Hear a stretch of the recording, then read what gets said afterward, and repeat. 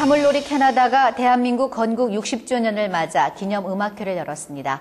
이번 공연은 런던에서 활동 중인 월드뮤직 플레이어스가 출연해 현대 음악의 흐름을 소개하기도 했습니다. 이시영 기자입니다.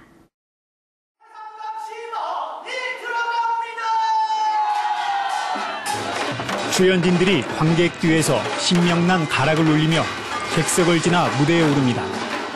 이어서 경기와 호남, 영남의 삼도에서 이름을 날리던 장고 명인들의 가락을 모은 설장구 연주로 관객들의 흥을 돋구었습니다. 사물놀이 캐나다가 대한민국 건국 60주년을 맞아 연 이날 공연에서 사물놀이와 세계 여러 나라의 음악이 소개됐습니다.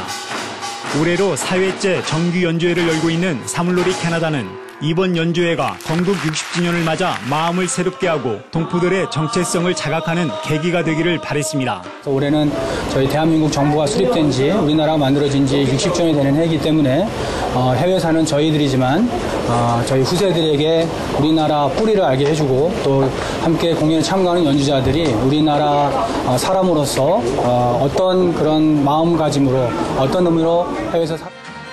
이날 공연엔 런던에서 활동 중인 월드뮤직 플레이어스도 출연해 남미의 탱고와 러시아 왈츠 등 세계 여러 나라 음악을 선보였습니다. 한국의 전통 음악을 캐나다 또 캐나다는 더 넘어서 북미 또 유럽 그 다음에 남미까지 정말 우리나라 대한민국의 음악의 중요함 또 아름다움 멋있음을 알리고자 사물놀이 캐나다의 신명나는 한마당 공연은 관객들에게도 새롭게 다가왔습니다. I really have uh, enjoyed the first part, and it's the first time I have seen a performance like this. And, uh, 아주 어린 친구들도 너무 잘하는 것 같아요. 젊은 사람들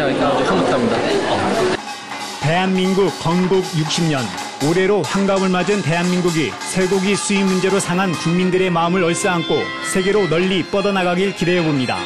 올티비 뉴스 you